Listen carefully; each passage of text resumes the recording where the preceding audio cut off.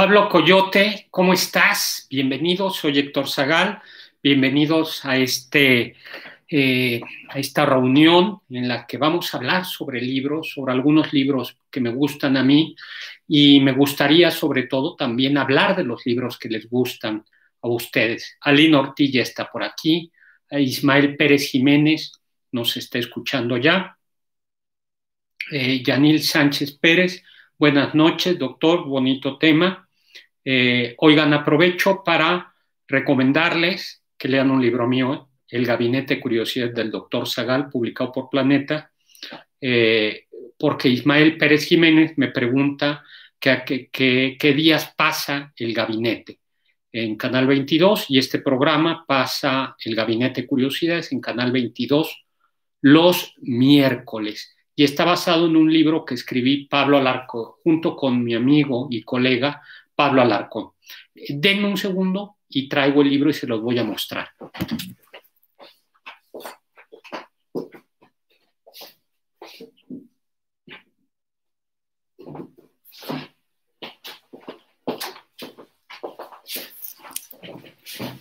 Este es el libro, El Gabinete de Curiosidades del doctor Zagal.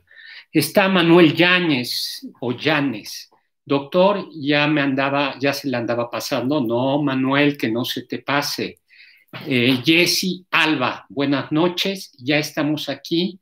Ya me leí el Gabinete de Curiosidades y le encantó. Muchísimas gracias, Jesse. Víctor Dan, saludos, saludos, Víctor. Tania Escabedo, el Gabinete Claro, que ya lo leyó, es excelente, gracias. José Luis Vázquez Martínez, buenas noches.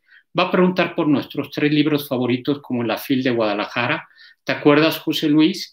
Sí, yo creo que voy a ir pidiendo por sus libros favoritos. Yo les voy a decir diez libros favoritos míos eh, y luego platicamos de ellos y platicamos de los de ustedes. Ricardo Domínguez Medina, saludos, doctor Edgar Salgado. Hola, doctor. Hola, Edgar. Marta Cortés, quizá usted comparta mi libro favorito, Crimen y Castigo.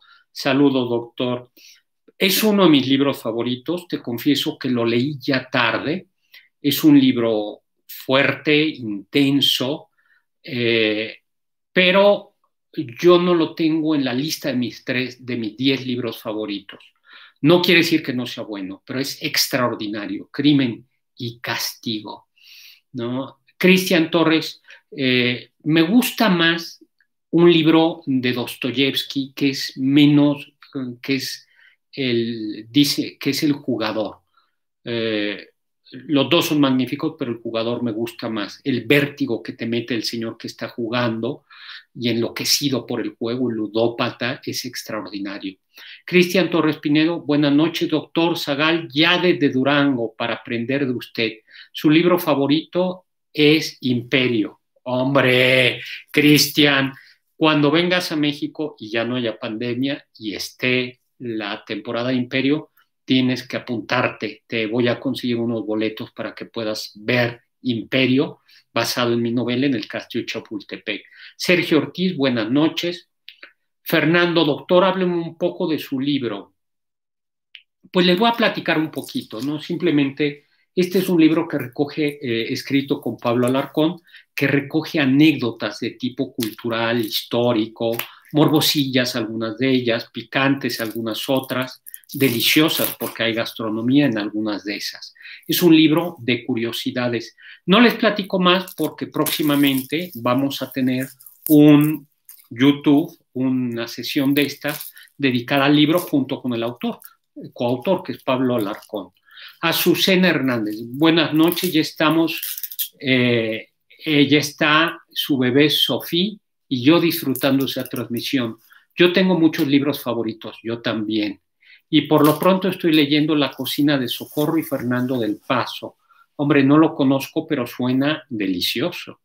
Eh, buenas noches, doctor. Saludos desde el sur de la Ciudad de México, nos dice AB. Manuel Yáñez, ¿cuándo se da la vuelta el, pro, eh, se da la vuelta al programa de los libros del sábado para subirles el nivel. No, ellos están bien, pero ya fui hace como tres semanas, ¿no? Edgar Salgado, el primer libro que leí, eh, Pellenman 123. Pelmean 123, no lo conozco. Alex Moreno, platícanos un poquito, ¿qué trata Edgar? Alex Moreno, buenas noches, ya conectado desde Phoenix City, Alabama.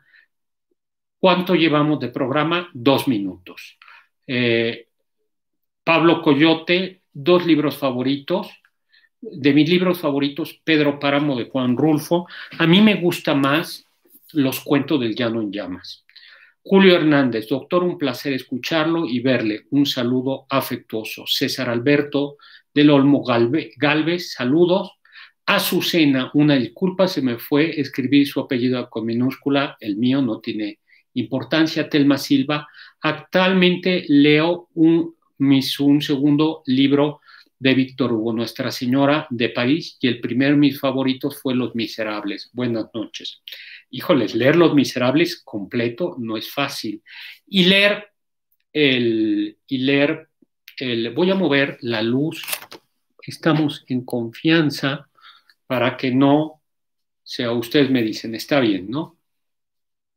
Eh, y es muy bueno el, hay el jorobado de Nuestra Señora París que nada tiene que ver o muy poco tiene que ver con la película de Disney. Bueno, lo primero que yo quería decirles es, eh, a ver, a los libros hay que respetarlos, sí, sin duda, pero esto me lo enseñó un amigo, un, bueno, un colega, escritor él también y, y crítico de arte, crítico de reseñista, crítico de literatura, Christopher Domínguez Michael, que decía, me dijo una vez un gran consejo, a ver, salvo los libros que hay que leer, por obligación, por trabajo, porque te dejan en las escuelas, a los libros hay que perderles un poquito el respeto y si te aburre, déjalo. Yo creo que este es un consejo que a mí me sorprendió en su momento porque yo estaba con la idea de que un libro se toma y se deja cuando se terminó. Y él me dijo, no, yo creo que sí hay libros que uno tiene que leer por obligación, por trabajo, pero los libros que se leen por gusto, hay que perderles el respeto. Hay que darles, sí, siempre una primera, una segunda oportunidad, a veces hasta una tercera, pero eh, tampoco se trata de forzarse en exceso. Si no logras, eh, si el libro no logra, el autor no logra eh, empatar contigo, yo creo que hay que dejarlo. Entonces, que no nos dé vergüenza eh, dejar un libro. Yo creo que hay que comenzar a leerlo. Y claro, dependiendo de la carrera, hay libros que hay que leer por obligación. Hay que leer al menos, al menos una vez en la vida. Pero este es un, este es un buen, un buen consejo. Dejar un libro si no te gusta. Porque lo primero es que yo creo que un libro leído no por obligación, leído no por la escuela, no por el trabajo, tiene que tener un elemento lúdico, es decir, de gusto, de alegría. No quiere decir que sea siempre una lectura fácil. Segundo, los libros son como el café. En ocasiones pueden ser amargos, difíciles, pero como el café, la lectura de libros complejos es un gusto adquirido. Entonces, si bien es cierto esto que les decía, que a veces hay que dejar un libro porque no te gustó, hay que hacer, entrenarse para leer libros de suerte que el amargor del café y a lo mejor la complejidad de un libro te, te exija un cierto esfuerzo, pero tú lo vas desarrollando. Eso es un segundo ejercicio, ¿no? Un tercer eh, texto es, yo creo que siempre hay que entablar, no un tercer texto, un tercer punto, hay que tratar de entablar un contacto con el libro, un contacto personal, que el libro te interpele. En el momento en que el libro te interpele, lo vas a terminar. Que te interpele no quiere decir que te guste, que te interpele no quiere decir, eh, puede eh, interpelarte porque te disgusta, Interpelarte no quiere decir que te agrade, puede entristecerte, puede enojarte, puede provocarte. Un cuarto consejo, hay libros para toda la vida, para cada época de la vida. Eh, por ejemplo, yo voy a hablar de, hay un libro que es eh, El lobo estepario de Germán Gese. Yo lo leí cuando estaba muy chamaco y me encantó. Leí también cuando estaba muy chamaco La madre de Máximo Gorki eh, y leí de Nikolai Ostrovsky Así se, tembló el acero, se templó el acero. Eh, y los volví a intentar a leer de grande y confieso que ya no me gustaron. ¿Cambió el libro? No, yo creo que uno cambia de época. No es lo mismo leer un libro a los 15 años que leerlo a los 20, que leerlos a mi venerable edad en la que ya puedo ser abuelo de muchos de ustedes. Y luego otro consejo que tiene que ver, otra consideración con los libros, es hay que leer eh, los libros también depende eh, del estado de ánimo, es decir, no solo, no solo de la época de la vida, sino del momento, de la época, del día, de la hora. Esto los editorialistas, los editores lo tienen muy claro. No es lo mismo un libro para la playa, yo en la playa leo libros tranquilos, eh, divertidos, que leer un libro eh, por ejemplo, Ruiz Zafón es una gran lectura de playa, que leer un libro cuando uno está en la casa, ¿no? No es lo mismo un libro, por ejemplo, yo ahora se los confieso, yo de, con la pandemia comencé leyendo libros densos y he tenido que comenzar a leer novelas más sencillas porque nos falta concentración, no estamos en el mejor momento posible eh, y yo quiero libros pues que de alguna manera no me suman en la depresión. ¿no? Este es un. Y luego hay que saber no solo cuándo leer, en qué época de la vida leer, sino también dónde leer, ¿no? Eh, dónde leer. No es lo mismo un libro para la noche que un libro para la sala. Yo estoy aquí en mi oficina, no es lo mismo un libro para mi oficina que un libro para cuando voy a dormir. Yo creo que son momentos incluso distintos del día. Por ejemplo, yo ahora no, pero muchas veces eh, como solo, comía solo y comía leyendo un libro. No es lo mismo un libro para comer que un libro para leer en un momento de tranquilidad. Vamos leyendo ideas, ¿no? Y les cuento de mis 10 libros. Eh, a ver, eh,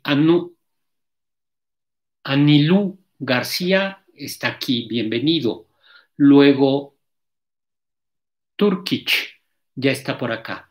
Aline Ortiz nos dice que un libro que no, que dejó porque nomás no le gustó fue La ladrona de libros. Pues bien, se vale.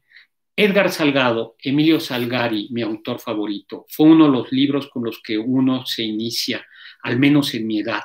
Los Tigres de Malasia, era un libro de preadolescente. Jesse Alba, totalmente de acuerdo, se vale dejar un libro inconcluso y en mi experiencia a veces te reencuentras con él en el futuro y te siente mejor. Muy bien dicho. Josué Isidro Maciel, cuando leemos una y otra vez un libro, es señal de que nos gusta. Así leí el niño, el de niño El pájaro de fuego, cuento ruso que no sé cómo llegó a mí o quién lo compró, y que además hay una obra de Stravinsky eh, basada en esa leyenda, en la leyenda del pájaro de fuego. Eh, eh, Edgar Salgado nos dice que le gustó Daniel Defoe. Bueno, Daniel Defoe tiene un libro muy de nuestra época que es El diario del año de la peste. Terrible, pero muy bonito. Pablo Coyote, La madre de Gorky, está muy bueno. Era un libro pues, que hablaba de, la, de los preámbulos de la Revolución Rusa. Ricardo Becerril, doctor, se tiene por obligación cuando lees la Odisea eh, de Homero o leer la Eneida de Virgilio. Yo creo que en la prepa, si te lo dejan, lo tienes que leer. Pero eh, si no te lo dejaron en la prepa, yo diría que hay una cierta obligación moral, pero tampoco, este, tampoco, es decir, si no te lo dejaron, léelo por gusto. Y si no te gustó, déjalo. Y luego dale una segunda oportunidad. Luego, José Silvestre, ya acabó el Ulises, mi querido José Silvestre, eh, el Ulises de Joyce, lo acabé, lo leí una vez, es un libro muy importante y nunca más lo voy a volver a leer en mi vida. Me aburrió, ¿no? ¿Por qué? Porque es un libro que no está escrito desde el lector, se llama el narrador omnisciente. El narrador omnisciente es eh, un narrador como un semidios que tiene capacidad de contar la historia de una manera objetiva.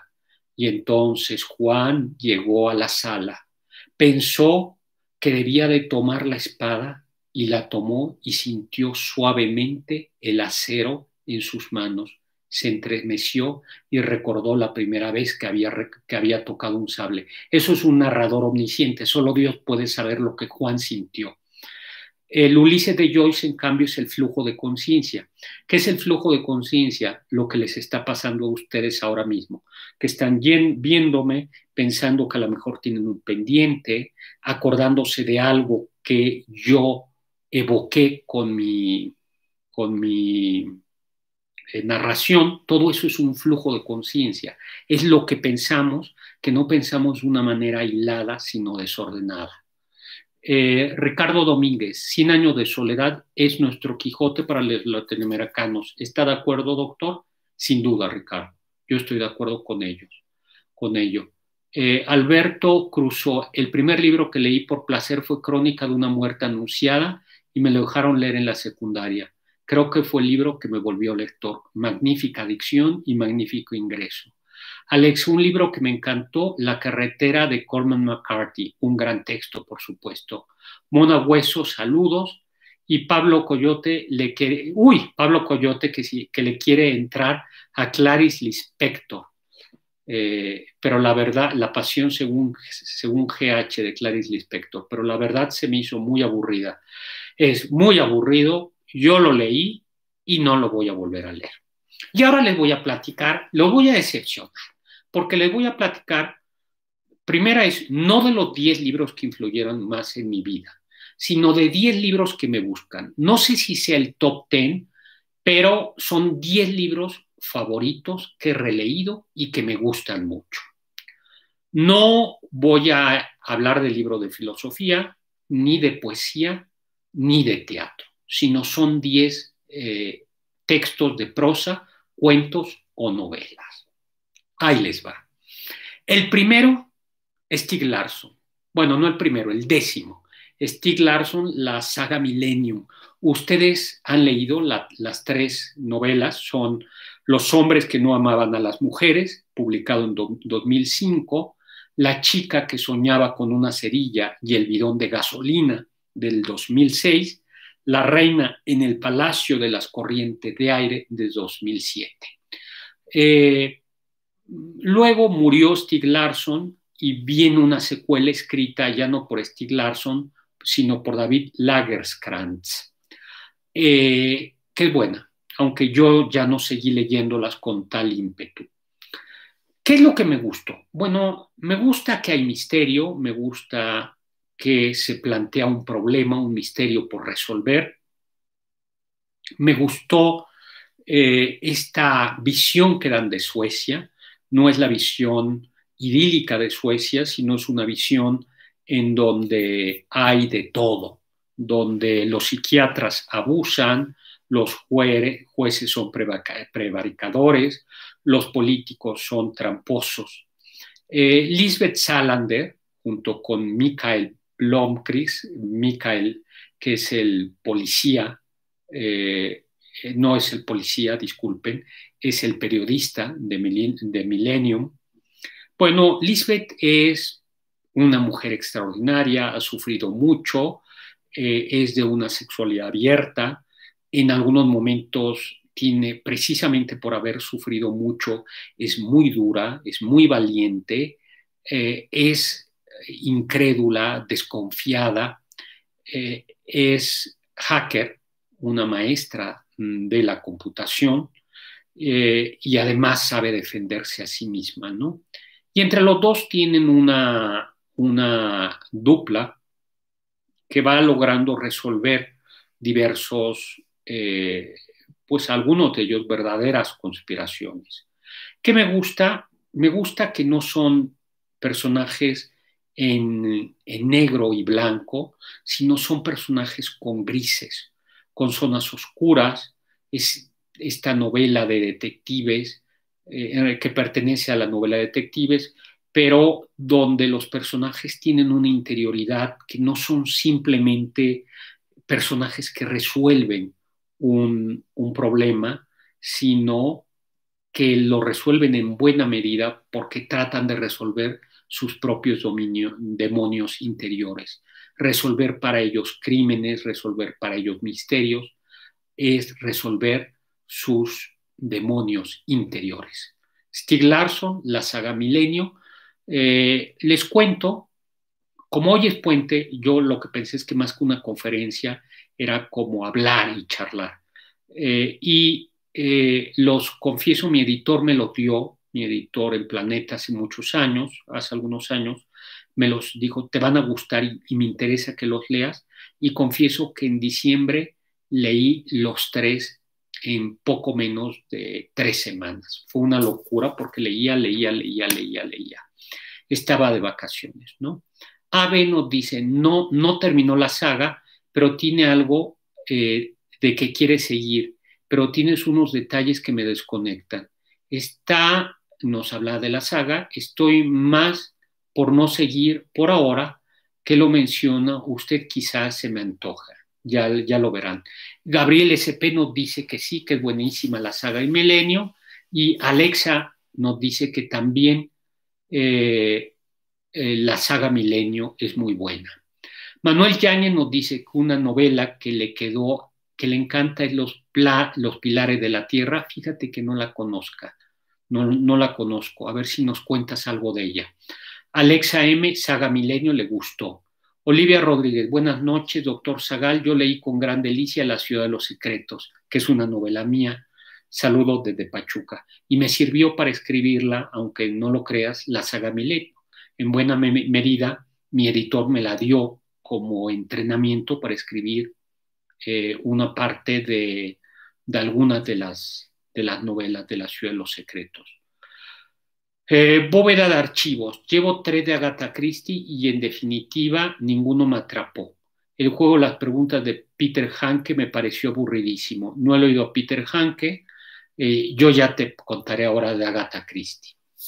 Luego, Iván Bastida, La ciudad de los secretos, es autobiográfica. Ah, es una trampa. Ahí se los dejo. Tiene un, tiene, es, es, es una novela qué parte es autobiográfico, cuál no, eso es un enigma. Luego, eh, luego, Alexa, un libro que leí sin parar al sur de la frontera, eh, fue Al sol de la frontera de Haruki Murakami. Eh, yo no lo he leído, yo he leído otros textos de Murakami. Luego, Vázquez Martínez, Misterios de la vida diaria de Ibarbungoitia. Ya te platicaré de él. Eh, y vas a ver por qué. Mi segundo otro libro favorito mío es Thomas Mann, Premio Nobel de Literatura, que nació en 1875 y murió en 1955, autor de Muerte en Venecia, del que hay película. Bueno, la saga Milenio también hay películas. Luego, la montaña mágica, que también es maravilloso, fascinante, y que trata en estricto sentido de la vida en un hospital en la montaña, donde algunos enfermos en un hospital tratan de recuperar la salud, recuperarse de la tuberculosis gracias al aire libre, a los baños de sol y a una comida sana. Y es muy eh, intrigante el modo como la vida del hospital se va apoderando de algunos pacientes y no pacientes. Los Budenbrock es la saga de una familia. Los Budenbrock, su ascenso social, son comerciantes, y luego su descenso, su catástrofe. Y me gusta mucho por varios motivos. Primero, porque es una novela que logra contar cómo las generaciones, eh, como una, el personaje es la familia cómo va ascendiendo socialmente la familia y cómo eh, la familia de comerciantes, de empresarios, quiera fuerzas que sus hijos sean así, que sus hijos y sus nietos sean comerciantes. Y a mí los Budenbrock me gusta mucho, yo como saben ustedes soy filósofo, porque yo de vez en vez me encuentro con muchachos que quieren estudiar filosofía y que la familia se opone a ellos, se opone a que estudien filosofía y la presión social para que estudien filosofía es tal que los muchachos terminan estudiando otra carrera para complacer a la familia. Esto yo diría que cada dos años me encuentro con un caso así. Y a veces yo soy como el malo, como si fuera el robachicos, porque algún alumno me, busca o estudiante, eh, y yo lo, no es que lo persuada, yo lo que creo es que la gente debe, debe estudiar lo que quiere, porque es una decisión de vida, y que aunque hay que pensar en la salida profesional, también hay que pensar en que te vas a dedicar a tu carrera. Y los Budenbrock me gusta a mí porque uno de los personajes de la familia de los Budenbrock no está contento con ser eso, con ser un, gran comerciante, un empresario, sino tiene un alma romántica y, y, eso descuadra los planes de la familia. Y luego, eh, también otro detalle que me gusta es eh, las descripciones. La comida juega un papel muy importante y para mí me gustan las novelas que son, que son, que tienen olores y que tienen sabores. Hay un momento en el que se describe el desayuno de, los, de uno de los personajes, Budenbrock, que siempre se me hace la agua a la boca, es muy sencillo, es simplemente un pan con, pan, de, pan con pasas de Corinto y un poquito eh, de mantequilla. Bueno, pues creo que Los Budenbrock de Thomas Mann eh, es una novela que además va a caballo, a pesar de que es una novela escrita en el siglo XX, es una novela que va a caballo entre el siglo XIX. En el siglo XIX las novelas eran lentas, gordas, con muchas descripciones, como Los Miserables, eh, pero al mismo tiempo esta novela tiene un enorme vértigo por el vértigo del ascenso y la caída de la familia. Pablo Coyote, Ciudades Desiertas, Vidas con mi viudo, Arma Blanca de José Agustín, también son de sus favoritas, buenas. Eugenio Lugo eh, dice, doctor, ¿qué opina los libros de Martín Moreno? Eh, yo creo que es un escritor sugerente, sin duda, yo lo conozco muy poco, muy, muy poco, y no podría, no me animaría a hacer como una... Hay uno de Yucatán leí hace poco Silvestre, pero tiene una pluma ágil, sin duda. Silvestre Barajas, buenas noches, doctor. Zagal, me gusta su charla cuando sale en Erasmo y Chocolata. Sí, ¿verdad? Con la chocolata, que tenemos un crush con la chocolata. A mí también me gusta, a ver si pronto me vuelven a invitar. Rogelio Ruiz de la Cruz, buenas noches, doctor. Por favor, déjenos los títulos en la descripción del video. Se los voy a, dejar. Pero, a ver, más que dejarles es son textos que a mí me gustaron, ¿no? Me han gustado. Gabriel SP, ya le contesté en Twitter los 10 libros que llevaría a la isla. Muy bien. Karina Silva Peña, a mí me gusta mucho el Evangelio según Jesucristo de José Saramago, pero pude leer otras cosas de él. La intermitencia de la, de la muerte eh, me aburrió. Saramago no siempre es fácil. Luego, eh, ¿qué opina el libro del mundo Sofía de Garner? Que es un gran libro, ¿no? Sin duda. Eh, saludos a María de Lourdes Garzón y Cristian Torres Pinedo. De los libros que usted ha escrito, ¿cuál le gusta más? Me gusta mucho La ciudad de los secretos y me gusta mucho Imperio. Luego hay otro libro que, es de Germán Gese, Demian cuyo subtítulo es La historia de Emil Sinclair, publicado en 1919. Es un libro de juventud. Yo lo leí cuando estaba en tercera secundaria y entraba a la prepa y me conmovió. Y lo volví a leer y me volvió a conmover. Es un muchacho, eh, Demian, eh, que está, es este tránsito de la infancia a la adolescencia, eh, padece el bullying en la escuela, padece también de las malas influencias, eh, y de repente este muchacho, Emil Sinclair, eh, conoce a un personaje liberador, Demián, enigmático, todo esto además en un ambiente de un cierto esoterismo, de un cierto gnosticismo. Y se conoce este tipo de novela como Bildungsroman, novelas de formación. Son novelas que cuentan justo este tránsito, esta formación de un adolescente o de un niño que se hace adolescente o de un adolescente que se hace adulto. Son novelas, por eso que suelen gustar a los jóvenes, que el joven, porque al joven se identifica con ellas. Pero a mí me parece que Germán Gess es una novela entrañable porque cuando uno la lee de adolescente, uno se identifica con el personaje, grandes ideales, grandes tentaciones, los problemas de la escuela, los personajes mayores a quienes uno admira, ¿no?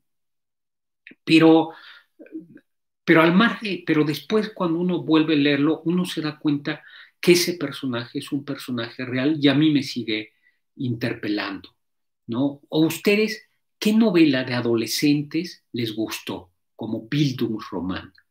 Eh, buenas noches. Eh, doctor, El efecto tequila de Elmer Mendoza es un libro que me gustó mucho. Sí, va, eh, Elmer es un gran escritor, ¿no? Esta, novela del norte tan dura, ¿no? Tan, tan fuerte. David Ríos, saludos. Cuéntenme ahora qué novelas de, de estas les han gustado en su adolescencia, cuáles interpeló. Yo ya le conté cómo la madre de Máximo Gorky, como de Nikolai Ostrovsky, así se templó el acero, te hablaban del hacer la revolución, ¿no? del cambiar el mundo, o Germán Gese, Demián. Luego hay otra novela que me encanta, eh, de Alejo Carpentier, este escritor cubano, que se llama El siglo de las luces. Eh, me gusta por un lado por el estilo, que es un estilo muy barroco, muy lleno de imágenes. Es una novela también donde los olores, las comidas a mí me gusta comer, son muy importantes, ¿no? Es una novela aromática, olorosa, que tiene sabor, donde está situada en el siglo XVIII, el siglo de las luces, porque se supone que es el siglo en que la razón había iluminado al mundo, había iluminado uh, y estaba, gracias a la razón, liberando a los hombres. Eh, por eso es esta época rococó, pero en el trópico. En las colonias tiene lugar una parte en lo que después será Haití y otra parte en Cuba. Son dos jóvenes que se quedan solos, huérfanos, heredan una casa y, viven aislados en un proceso de duelo. Luego se les acerca un primo, Esteban, eh, y luego aparece un personaje que es Hugo, eh, que después de un ir y venir termina trayendo, siendo un político importante, y trayendo la Revolución Francesa a las, a las Antillas francesas. Pero lo sorprendente es cómo este personaje, Hugo, que era un personaje eh, que creía en la libertad, en la igualdad, la fraternidad, llega con, con un barco a las Antillas y en ese barco trae sí la libertad, las ideas revolucionarias, pero también la guillotina, ¿no? Y luego este personaje Hugo se va transformando y creo que es un, que es un momento muy importante, eh, es una reflexión muy importante porque a veces o casi siempre la revolución se termina comiendo a los revolucionarios. Los revolucionarios terminan siendo eh, personajes que terminan cometiendo aquellos excesos que condenaban. Porfirio Díaz, por ejemplo, que se levantó en contra de la reelección de Juárez, terminó siendo el mismo un personaje que se terminó religiendo una y otra vez. Los revolucionarios, de, justo que celebraremos el 20 de noviembre, muchos de estos revolucionarios, como Álvaro Obregón, terminaron religiéndose. Los revolucionarios, a veces los revolucionarios se corrompen y terminan siendo peores que aquellos a quienes habían derrocado. Y esto lo, se revela muy bien en el siglo de las luces. Vamos leyendo eh, eh, algunos de sus comentarios. Karina Silva nos dice que de adolescente amó Juan Salvador Gaviota y El Llano en Llamas. Eh, yo leí también en la, pre, en la secundaria El Llano en Llamas, extraordinario, durísimo, y Juan Salvador Gaviota, claro, era un texto clásico de la secundaria. Víctor Dan, sus favoritos son Moby Dick, Madame Serpiente, sobre Catalina de Medici, y El bosque animado de Wenceslao Fernández. Flores, sencillo pero extraordinaria. Moby Dick es de nuevo la lucha del hombre, el, capitán Ahab enloquecido que, que trata de vengarse de la ballena blanca. Y por cierto, ¿qué tiene que ver Starbucks y Moby Dick? Cuéntenme, a ver si me cuentan un poco. Alberto Crusoe, dos novelas de formación que me gustaron mucho fueron Oliver Twist de Charles Dickens y Un mundo de Julius. El mundo para Julius de Alfredo Bryce Echenique. Fíjate que yo no he leído eh, El mundo de Julius de Alfredo Bryce Echenique y eh, Oliver Twist, yo lo leí en secundaria y me encantó, me encantó Oliver Twist, la pequeña Dorrit, y, me encantó también Tiempos, Tiempos Difíciles de Charles Dickens. Eh, luego, Lian LM, doctor, estoy leyendo a Loven, Lovercraft, bueno, son palabras mayores, Lovercraft.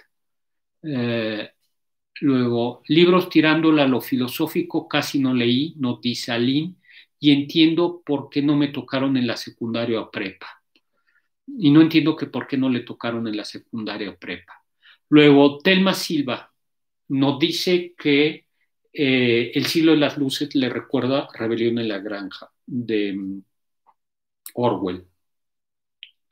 Eh, Rebelión en la granja justo narra cómo unos cerdos, es una parodia o una sátira de Stalin y del comunismo, cómo unos cerdos hacen una revolución en una granja para liberarse de los humanos, junto con todos los animales, y al final los cerdos, que son los que lideran la revolución, terminan ellos siendo peores que los humanos.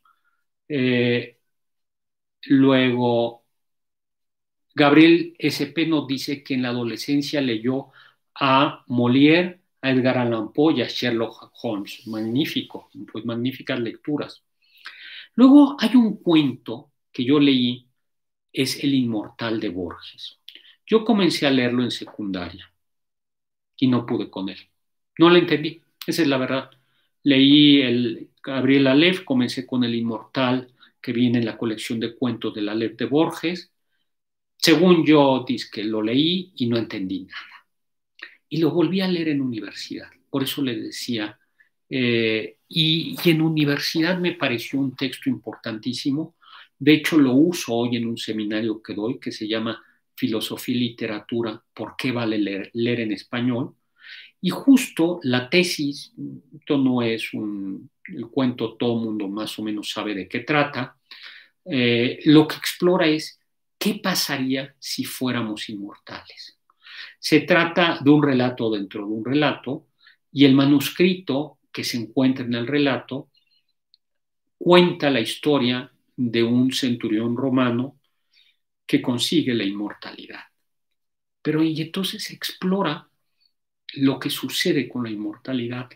Lo que parecía una bendición se termina convirtiendo en un castigo. El cuento es de 1947 y digo que parece algo que hace el inmortal de Borges, es este experimento mortal, este experimento mental de darnos cuenta cómo lo que da sentido a la vida es que no sea para siempre. ¿Por qué aprovechamos el tiempo? Aprovechamos el tiempo porque no siempre nos, no tenemos asegurado el mañana. ¿Por qué una noche de sol, les digo una noche de sol, una puesta de sol en la playa, a mí me gusta mucho, es tan conmovedora? Es porque es un momento que quizá no volvamos a tener. ¿Por qué una Navidad es tan importante para nosotros? Porque no sabemos cuántas más vamos a tener.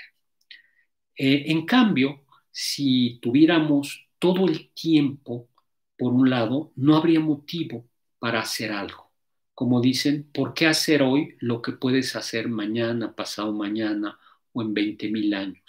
Y por otro lado, Borges explora la idea de una persona que ha vivido todo el tiempo, muchos años, que ha vivido toda una eternidad, tendría todas las experiencias y entonces terminaría olvidando quién es él, porque pudo haber sido Homero, pudo haber sido un centurión romano, pudo haber sido un escritor. O sea, es tanta experiencia, termina de alguna manera difuminando la propia identidad.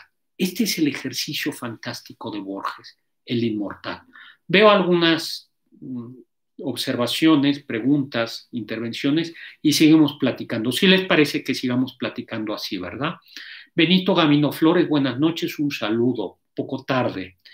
Dice Benito, no, ya estás aquí, esto es de amigos, esto es un café, se puede entrar, salir, eh, llegar mm, después. Pablo Saúl Vega, doctor, le recomiendo leer Vacaciones en el Cáucaso de María Jordaniu. No la conozco, no la conozco. Es una belleza, lo edita Cantilado, lo leeré. Mm, luego José Vega, desde Los Ángeles le escucho con Erasmo y la Chocolata y su participación es muy interesante. Muchísimas gracias. Yo espero que ahora me, me inviten para hablar. Pablo Coyote, en la secundaria no leí nada, tuve una maestra muy mala de español y veo que muchos sí leyeron muchos libros en la secundaria. Yo tuve unas dos maestras de español muy, muy, muy buenas. Luego, un sexto libro, cuento, que me gusta mucho, es El hombre invisible, de, eh, eh, de eh, ay, de Jorge Iván, perdón, El hombre invisible de Chesterton. Chesterton nació en 1847, murió en 1936.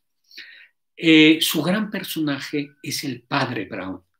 Eh, el padre Brown es un sacerdote culto, inteligente, simpático, muy tolerante, dominado por el sentido común, y que gracias a su perspicaz razonamiento, a su perspicacia, a su sentido común, termina resolviendo un sinnúmero de, de misterios, algunos de ellos eh, de una manera paradójica. Uno de ellos es el hombre invisible, es un cuento. Y entonces eh, toda la historia es que aparece una persona asesinada, y nadie puede saber, porque nadie sabe quién lo mató, porque nadie ha visto a alguien entrar a esa casa. Nadie ha visto quién entró a esa casa.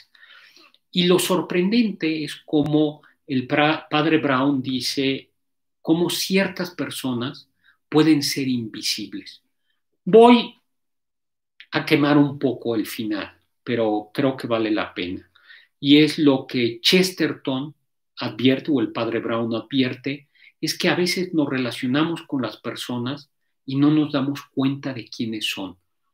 Eh, yo ahora no estoy prácticamente saliendo de la casa, pero cuando estoy haciendo home office, pero es muy llamativo cómo no vemos rostros, como en un restaurante, a veces en el súper, a veces no vemos a las personas, sino simplemente vemos figuras abstractas, vemos son hombres invisibles. Y como en cambio, eh, le pregunta el padre Brown, si tú le preguntas a alguien, ¿viste si alguien entró a esa casa? Nadie diría, eh, la gente no te lo diría con la misma exactitud que si te dijeran, oye, hubo un contagio en esa casa o alguien estás tú en una casa y te dijeran, fíjate que hay una epidemia como ahora, estuviste en contacto con alguien y entonces nos daríamos cuenta que no es lo mismo que te pregunten, ¿viste hoy a alguien? Y a lo mejor contestas diciendo, no vi a nadie, cuando sí viste, viste al señor del microbús, viste al señor del supermercado, viste al señor del Oxxo, eh, pero no fueron nadie para ti. En cambio, son relevantes para ti cuando te dicen, oye, hoy hubo un contagio, tuviste un contacto con alguien y entonces te acordarías de todas las personas que, aunque no tuvieron rostro para ti, sí estuviste en contacto con ellos. Y esta es lo que el padre Brown observa y tiene que ver con la solución de, ese misterio. Es, un cuento de 13 páginas, El hombre invisible. Leo algunas observaciones. Aldo Rafael Miguel, Migueles nos dice, una novela histórica que no podía dejar de leer sería Alejandro, de Gibser Hals. De Gibser's Half. Creo que el género permite, mmm, le permite viajar a través del tiempo. Es la de Alexander, es la famosa de Alejandro, es esta. Fíjate que yo no recuerdo el autor. Catalina Severo, ¿qué piensa Diane Ryan? ¿Recomendaría sus libros? Yo creo que yo leí El manantial ya grande. El manantial es una novela de juventud eh, de Ayn Rand. Es una novela de formación, pero ya habiéndola leído ya mayor, te puedo decir que El manantial me gustó. Eh, yo, por ejemplo, algo que con algún tipo de libro hago es tomar notas. Y con Ayn Rand, Ayn tomé estas, estas notas. Armando Aburto, yo le iba a reclamar por no mencionar a Chesterton, mi primer libro a los 10 años, El Conde de Montecristo. Cuesta mucho, eh, cuenta mucho el embelezo de la primera lectura para seguir leyendo, por supuesto. Pues ya ves, a Armando Aburto, cómo, este, y manda saludos a todos y a todos los que están en vivo. Sí, a mí Chesterton me gusta mucho, es un autor que yo he releído muchas veces y otro libro que yo estaba tentado poner como el sexto que me gusta era de El hombre que fue jueves, que eh, justo es una organización terrorista eh, y va dando una serie de vuelcos. Es, es prácticamente surrealista la novela y es muy bonita. Sobre todo lo que me gusta Chesterton, a diferencia de Stieg Larsson, que en Stieg Larsson siempre hay un regusto de amargura, de dolor, de sufrimiento, es novela negra al fin y al cabo. En cambio, eh, en, Chesterton hay esperanza. No hay un optimismo bobo, pero hay una esperanza. Luego, siete, Los relámpagos de agosto de Jorge Ibargüengoitia. Ya ven que les decía. Bueno, eh, pues es un gran texto. Es una parodia de una novela. La sombra del caudillo de Martín Luis Guzmán es una novela que novela, valga la redundancia, el levantamiento de Francisco Serrano cuando Álvaro Obregón impone a, eh, a Elías Calles como candidato a la presidencia. Y termina habiendo una rebelión de Francisco Serrano y algunos otros y cómo el gobierno acaba con esa rebelión. Es una novela de la Revolución Mexicana tradicional, La sombra del caudillo. Hay una película que estuvo enlatada, eh, es decir, no se podía ver durante los sexenios del PRI porque salía muy mal parado el caudillo máximo de la Revolución Mexicana, que fue Plutarco Elías Calles, el jefe máximo de la revolución. Bueno, pues eh, lo que hace Ibargüengoitia es que parodia esto y se pitorrea de ellos y muestra con su humor, con su humor ácido a veces, pues como en realidad muchos caudillos de la revolución, no todos, pero como muchos caudillos eran unos convenencieros, cambiaban, se cambiaban de bando y en realidad lo que parecía que querían era simplemente el poder. Y frente a este cinismo, todo con un discurso, una narrativa de revolución, el pueblo, eh, la justicia social, en realidad lo único que hay es una búsqueda vulgar del poder y del dinero. Los relámpagos de agosto. Yo se lo dejé ahora a mis alumnos en el seminario de, de filosofía y literatura, porque leer en español, y confieso que me dio tristeza que no les gustó me dijeron que es que no tenían el referente de la Revolución Mexicana ni del viejo discurso de la narrativa. A mí me parece, de la narrativa revolucionaria. A mí me parece que eh, Los Relámpagos de Agosto vuelve a decir lo mismo que el siglo de las luces, pero de otra manera. El siglo de las luces dice, muchos revolucionarios terminan convirtiéndose en aquellos que combatieron y muestra la, pena, la metamorfosis del revolucionario en un déspota. Pues los relámpagos de agosto hacen lo mismo, pero sin dramatismo, sino que va mostrando de una manera divertida y cínica cómo los revolucionarios se corrompen en nombre del pueblo y terminan siendo pues personajes que solo defienden lo suyo, que es el dinero y el poder. Luego, este, Catalina Acevedo nos dice, pues nada ha cambiado, sigue todo igual o peor buscando el hueso y no quieren soltarlo. Este, yo hablo de literatura, no de política. Luego les voy a contar que Agatha Christie me encanta. Yo he leído prácticamente todas las novelas de Agatha Christie unas tres o cuatro veces. Hay una novela que no he leído, que es Hércules Poirot, Telón, eh, porque me la estoy reservando. Es la última novela de Poirot. Eh, ¿Y qué me gusta eh, de ella? me gusta, es un poco, es este mundo idealizado de la aristocracia. Si ustedes vieron The Crown, pues es todavía toda esta sociedad inglesa aristócrata, donde los crímenes, aunque hay sangre, siempre son elegantes y distinguidos donde el césped está impecablemente podado para que se puedan ver las huellas de los asesinos y donde la plata está pulcramente pulida para que queden ahí las huellas, ¿no? Donde no, no son asesinatos vulgares, sino asesinatos de ricos, de poderosos, hay algunas excepciones. Y los dos detectives clásicos de Agatha Christie son Hércules Poirot, un belga comelón como el solo, vanidoso e inteligente, y una mujer que le gusta chismorrear, Miss Marple, y los dos a su manera resuelven los crímenes de una manera interesante.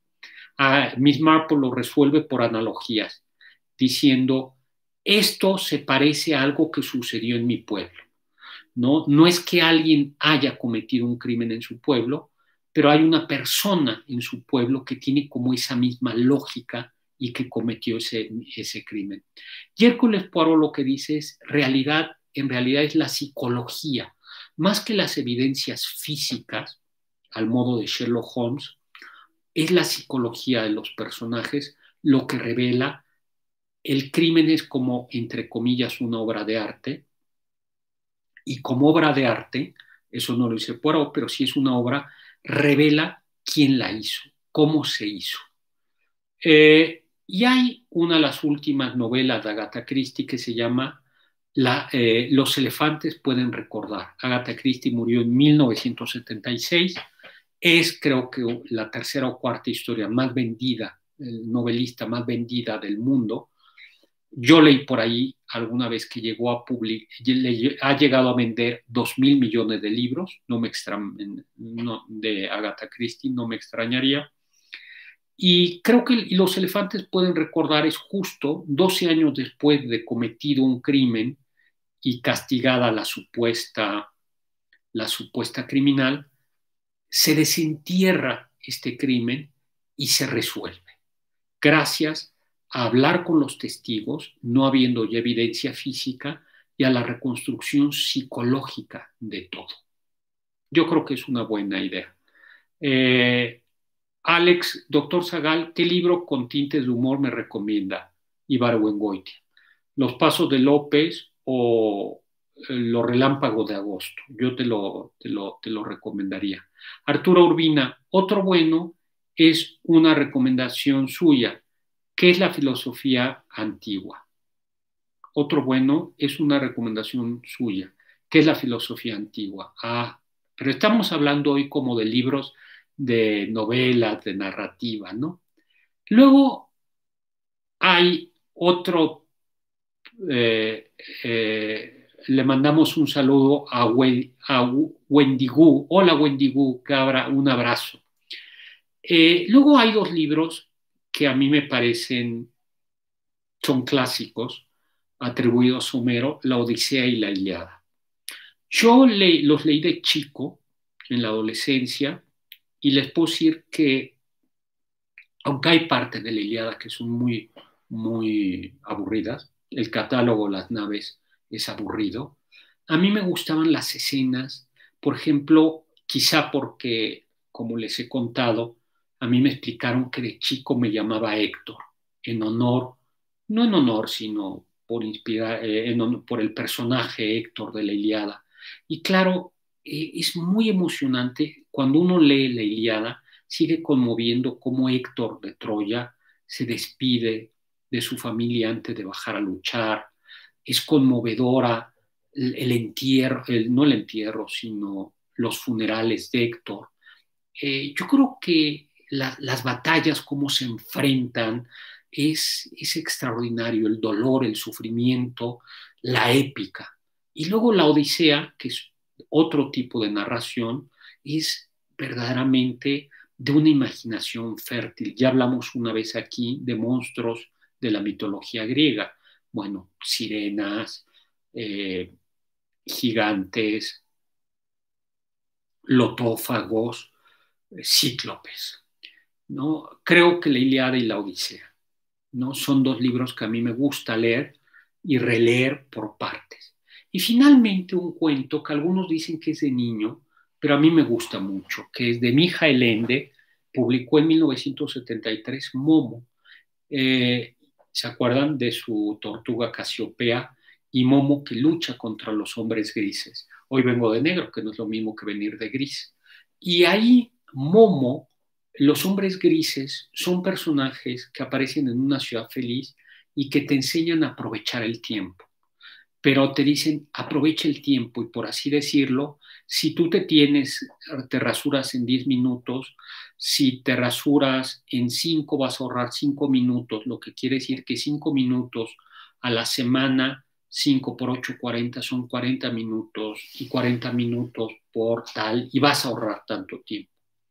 Momo sabe oír hablar a sus amigos. Es una mujer que pierde el tiempo. Y los personajes comienzan a ahorrar tanto tiempo que terminan dejando de vivir. Yo leí a Momo en una época difícil de mi vida y Momo justo lo que me enseñó es a que a veces hay que aprender a perder el tiempo. No, no todo se trata de este frenesí de aprovechar el tiempo, sino que el tiempo es como la vida es para gastarse y que el tiempo es una trampa. No es cierto que se pueda ahorrar el tiempo. El tiempo o se consume o, o ya no se puede ahorrar. Por eso lo que hay que hacer es aprender a gastar el tiempo.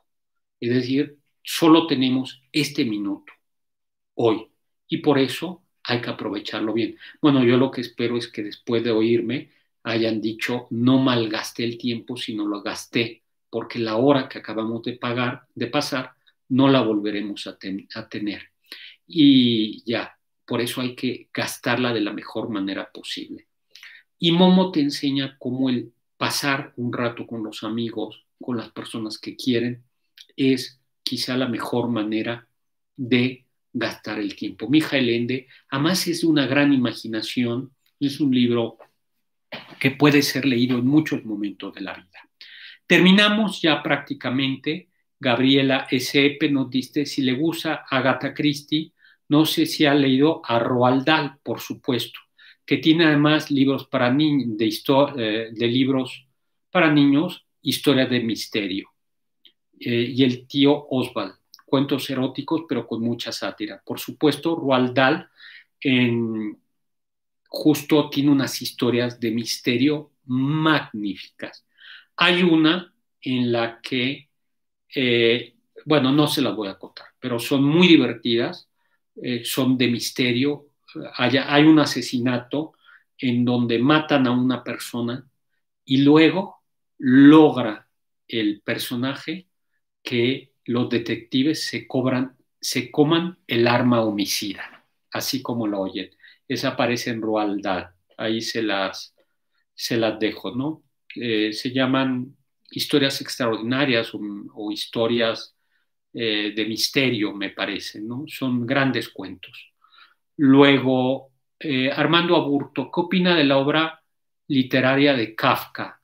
No hablo de lo filosófico. Bueno, a mí me gustó mucho, hay una que se llama, me gusta mucho, se llama Un triste manuscrito, algún día un, un viejo manuscrito, ya la leeremos, me parece una gran actualidad. La metamorfosis la leí también joven y es angustiante, ¿no? Gregorio, cómo se levanta, te siente. Yo por eso todas las mañanas me veo cómo me siento, ¿no? No vaya a ver amanecer como cucaracha. Eh, luego, Ali Mortiz, mi libro favorito, Zigzag de Carlos Somoza. Víctor Dan, ojalá me pueda dedicar un, dedicar un lunes a la literatura infantil. No soy, tan, no soy experto, pero yo creo que lo podemos hacer. Eh, lo preparo con mucho gusto. Eh, Mónica Hueso, Mi árbol de naranja, Lima, un libro muy conmovedor y muy triste. No lo conozco. Eh, pues muy bien, hemos llegado ya al final, no les quito más el tiempo. Ha sido un placer estar con ustedes. Hoy fue una charla de puente, así como más informal. El próximo lunes nos vemos aquí. Recuerden suscribirse al canal de YouTube. Si les gustó esto, compártanlo y hablaremos la próxima semana. Eh, ya les comentaré en la semana de qué vamos a hablar. Recuerden lo que Kant nos decía, sapere aude, atrévete a saber. Mi Twitter arroba hzagal. Si les gusta este canal, por favor, suscríbanse. Muchas gracias. Saludos a todos.